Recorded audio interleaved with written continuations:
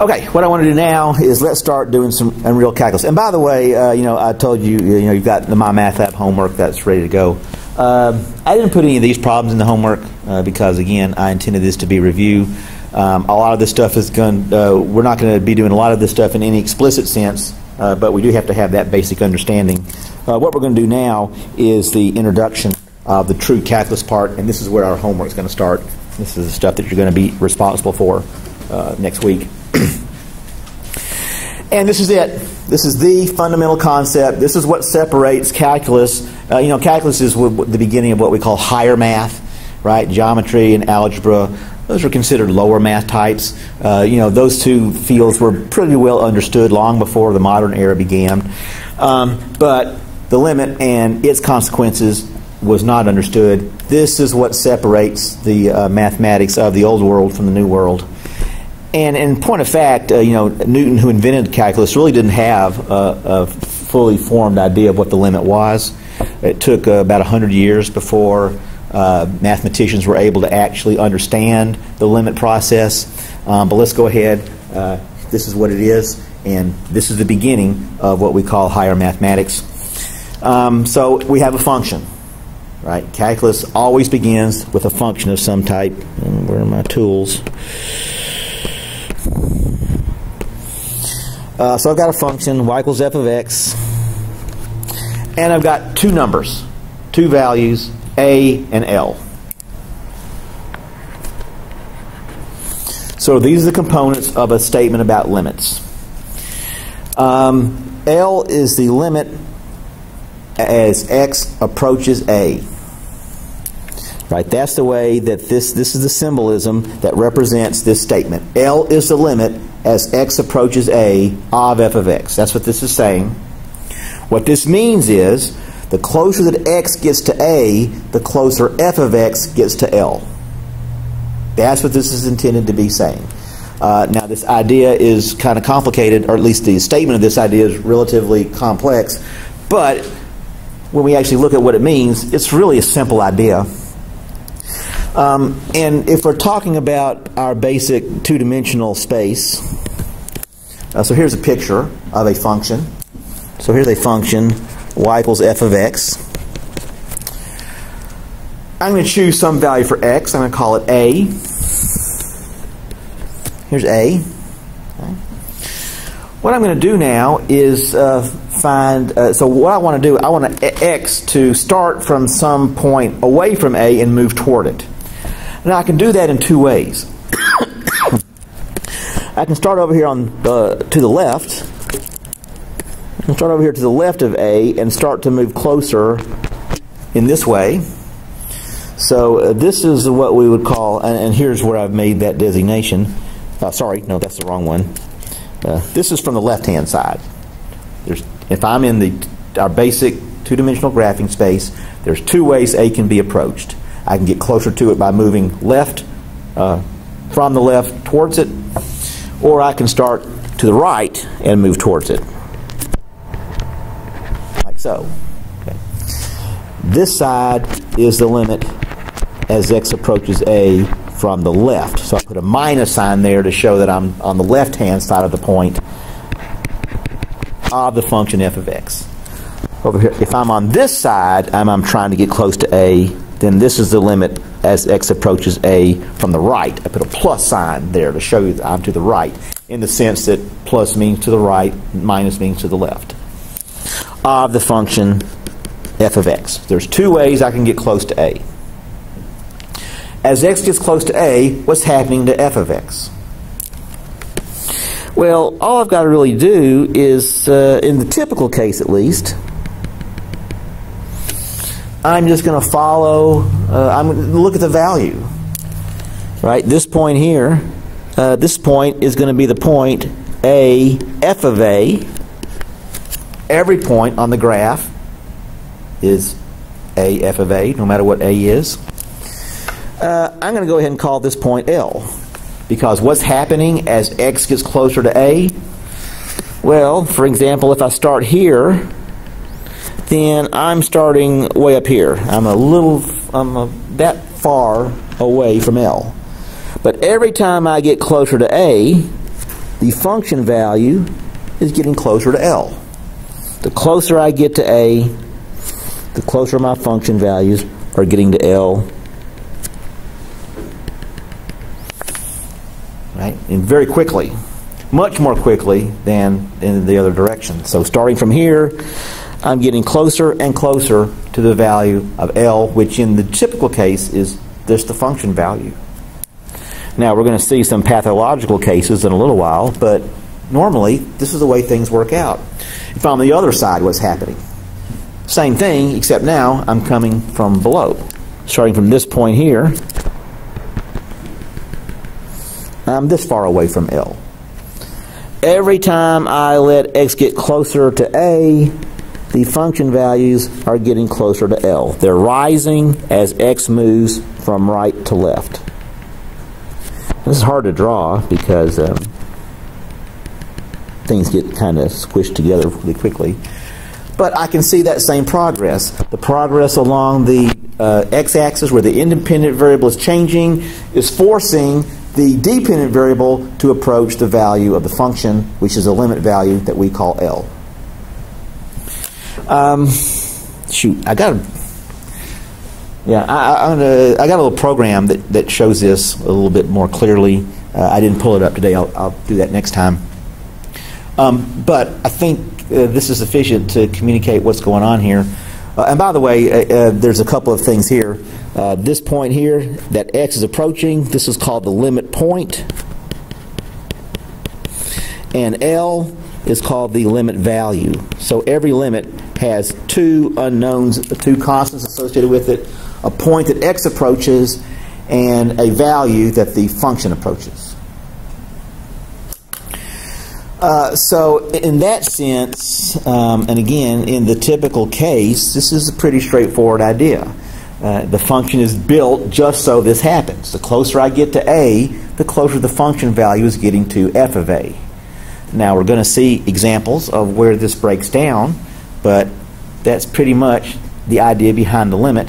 Um, intuitively, I hope, it's a pretty straightforward notion, and one reason that it probably took so long to develop is that it seems pretty obvious, right? It doesn't seem that there's any mystery here or any sort of analysis that we need to understand why this is a, significant idea. It doesn't seem significant at all. It seems obvious in a sense. Okay.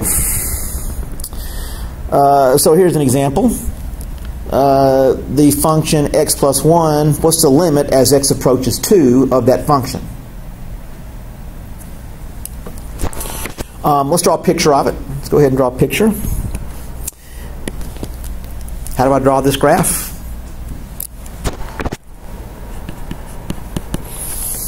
What kind of a graph is this? Is this? It's line. Um, what's the uh, slope of this line? One. Uh, what's the y-intercept? One. Right? mx plus b. m is 1, b is 1. So this is a line. It uh, has a y-intercept of 1 and a slope of 1. So I don't know, maybe it looks like this. Okay? Here's the limit point, 2. What's the function value at 2?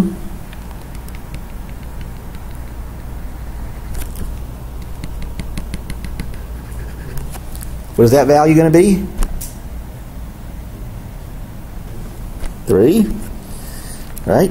X is 2. 2 plus 1 is 3. So as x gets closer to 2, from either direction, what is the function value is getting closer to? 3. There, that's all there was to it. In fact, all I really did, sorry, as x approaches 2, all I really did was I replaced the variable with the limit point and I did the computation. Again, in the typical case, that's exactly the way it works out. Our limit point and our limit value are linked through the basic relationship of a, the function's independent variable to its dependent variable. There's a picture of it. I can look at that picture and I can see. And again, uh, you know, uh, the idea here is that uh, you know if I I'm approaching along this curve, right? If I'm coming from the left-hand side, in this case, as I approach along this curve, or from the right-hand side, approaching along this curve, they're converging onto a common point. As I come down from up, uh, down from above, I'm getting closer and closer to three. As I come up from below, same function value. Again, in a lot of ways, this isn't a mystery at all. It's very straightforward. Uh, so, with that in mind, um, what is this equal to? In fact, this is the typical case. Uh, this is our first limit law. In the typical case, the limit value is equal to the function value. So for this first example, what's the limit value going to be equal to? 1, right? All I do is I do the substitution. Minus 1 squared plus minus 1 plus 1. There's no difference between doing the substitution and the, or the uh, valuation and the limit. They're the same thing.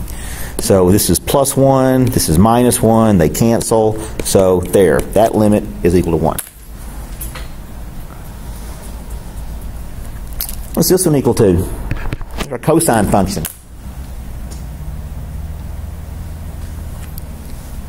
What's the limit as x approaches pi over 4 of the cosine function?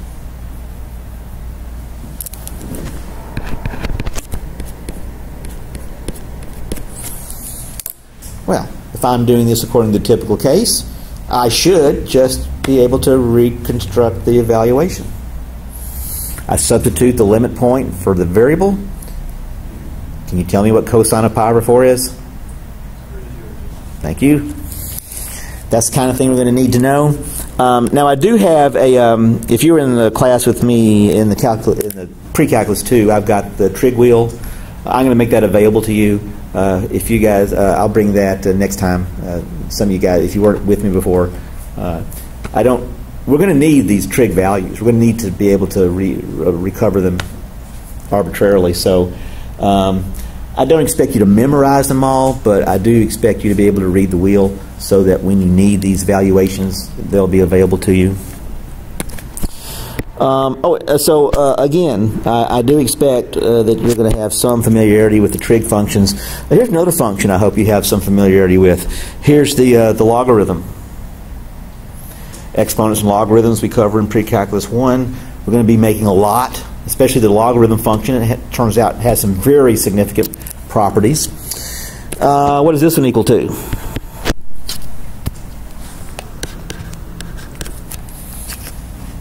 Well, substitute. What is the log, natural log of 1 equal to? Zero. Good. Uh, that actually can be done in your calculator, um, but uh, I hope that you, uh, you know, and again, when, when the time comes, we'll do some review of the logarithm but I hope that's something you already know. For any log base, the log of 1 is always equal to 0. Okay, so there's an example of some logarithms of uh, simple functions, complicated functions. Again, no mystery about how the limit works itself out. All I've got to do is the substitution. I replace the variable with the limit point, figure out what it's equal to, boom, that's the answer. Okay. Okay. Here's where the problem comes. What I'm going to do now, let's see how, how we doing. Okay, uh, I, we've got, there's three what I'm going to call pathological cases, cases where this whole thing starts to break down. The first case is a function that has a gap in it. This function has a gap.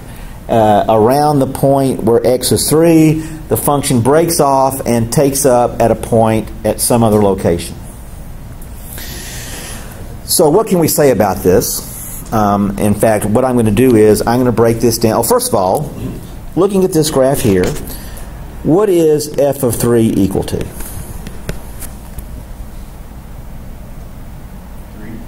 3. How do I know that? Well, just like we said before, f of 3 is the y coordinate of the point where x is 3. this point here is the point where x is 3. Please notice that I've got uh, an open circle at the bottom branch and a closed circle on top. Right? We do that to indicate the function value. I can't fill in both of those points. That would give me two points with the same x coordinate. Uh, so make sure you understand that device. The point on this graph where the x coordinate is 3 is the point 33, and that means that coordinate must be what f of 3 is equal to. So in this case, f of 3 is equal to 3. Okay. Now we're going to have to make look at this more carefully. Um, let's start with this. What is the limit of this function as x approaches 3 from the left? So I'm going to come into this function from the left-hand side, starting at a point uh, over here. Or, yeah, well, let's do it this way. Starting from here, I'm going to start moving closer and closer to 3. How is the function value behaving as I get closer to 3? It's getting closer to 2. I can't get beyond 2, right? This is the cutoff point right here. The closer I get to 3, the closer these function values are getting to this lower cutoff point. The lower cutoff point is at 2. So these functions, as I move from the left-hand side, are approaching the uh, cutoff point for the lower branch. So this limit is equal to 2. So here's an example of a function whose limit value does not correspond to its function value. Okay, so what if I approach 3 from the other direction? What if I'm coming in from the right-hand side? What is f of 3 going to be equal to? 3. Now I'm coming from this direction. Starting from the left-hand side, I'm coming along this upper branch. Now I can't get below that upper cutoff point at 3. So now I'm looking at this. I'm coming in from the upper uh, from the top down towards that point. The closer I get to uh, 3 in this direction, the closer the function values are getting to 3. So this gap here uh, keeps these two limit uh, these two directions from actually meeting. Right? The gap between these functions, uh, the gap between these two branches, is a gap between those limit values. Now, please notice in this case, this does end up being equal to the function value. But the problem is that this is not one thing. As I come from the left-hand side, I get 2. Come from the right-hand side, I get 3. So here's an example of where these two limits don't meet up. So the limit from the left, oh, and by the way, that's not f of 3, it's the f of x. Uh, the limit from the right-hand side does not equal the limit from the other side. So the left and right limits do not end up being the same thing. In this case, the conclusion is the limit does not exist.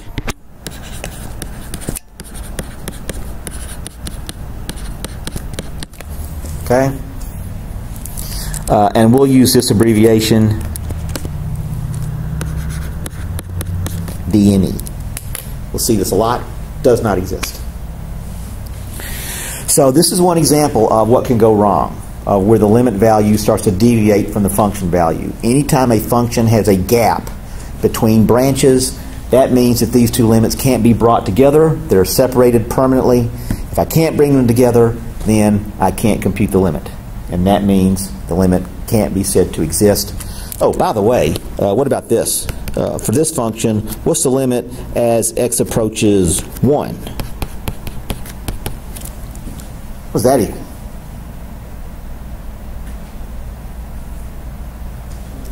zero. Right? If I'm approaching one, then I'm talking about this point. I'm coming in from above from the left, I'm coming up from below from the right.